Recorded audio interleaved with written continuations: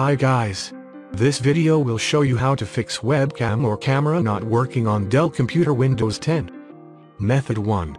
Change privacy settings for camera app. If the camera app is not working anymore, you have to check out the privacy settings that might block the camera app from accessing your webcam. Open the Settings app and click on the Privacy category. Select Camera under the App Permissions section on the left. On the right panel, you have to turn on the setting Allow apps to access your camera. Scroll down to locate the camera app and grant permission for it to access the webcam.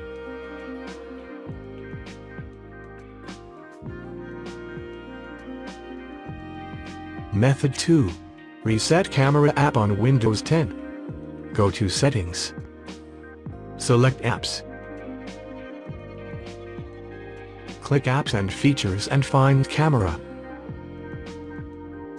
Select Camera app and click Advanced Options.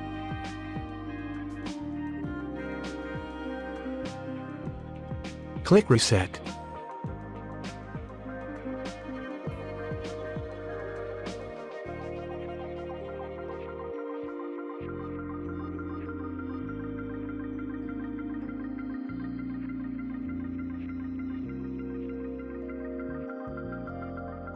Method 3.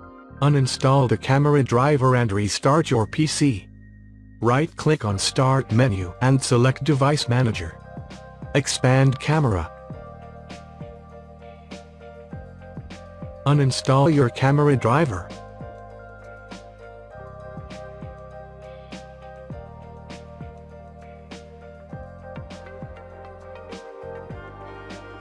Reboot your computer. Windows 10 should reinstall the driver automatically, so check if the camera is working now.